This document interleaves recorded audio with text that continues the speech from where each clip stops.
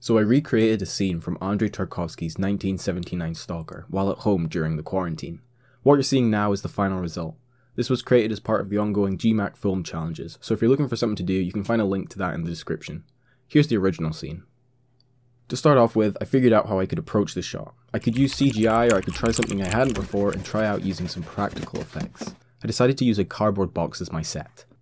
I cut a box into shape and created a little platform where I would add myself in later. I then added a hole in the roof for the light to shine through.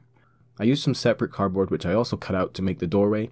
I then painted it all black and to add some texture I painted over some scrunched up tape on the paper. I also poured some sand on it while it was drying, again to add some more texture. To set up the set, I used a small LED panel placed over the hole that I'd created earlier in order to light up the back of the box.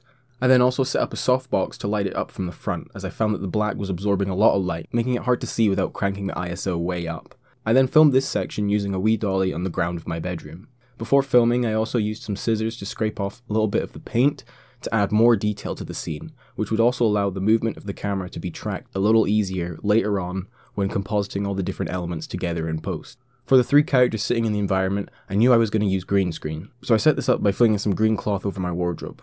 I later on decided to add in my portable green screen as the other one wasn't looking so great with lots of creases. I lit this from behind, literally placing an LED panel on my bed in order to get it to work. This was to make sure that the light sources from the set would match the light hitting my characters, so that they would better blend together. I then recorded these three separate characters. For the water, I literally just recorded myself spraying water onto the ground in my garden.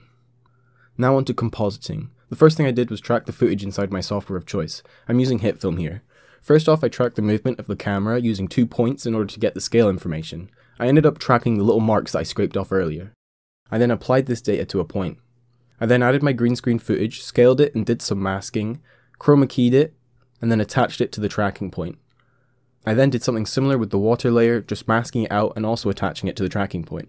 Finally, I added some color grading effects, including the classic Stalker aspect ratio, and then last of all I added in the rain effect.